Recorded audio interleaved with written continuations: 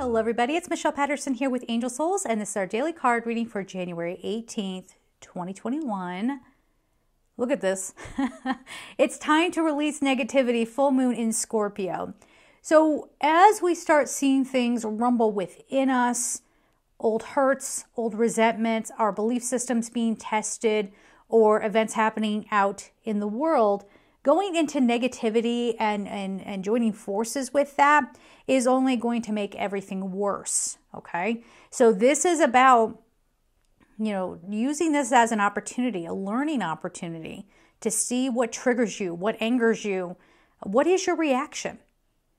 This might be a really good time to journal instead of putting it out there on social media or using world events to push some sort of agenda. Do you know what I'm saying? Uh, whether it's a personal agenda, your personal beliefs. Because here's the thing everything that I've seen, and comment down below if, if you're on the same page here, but everything I've seen has shown that people are not in their wisdom. Even if you're fighting for something that you really think, you know, there's no question about this having value, there's no question about us, you know, standing up for this. I don't disagree that we should stand up against injustice or stop, you know, bad things that are happening to people. Of course we should. But is the approach we are taking the warring, being at war kind of approach, is that appropriate?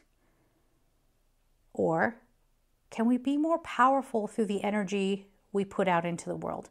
Can we be more powerful when we are finding our peace and not giving into a narrative and we're not going to let our anger uh, get the best of us. So we're not going to allow ourselves to complain about our lives, right?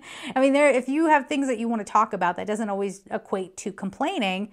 It just means you're trying to get it out. But you know, it's time to stop this negative thinking of yourself and of others, to find our peace and to contribute that to the world.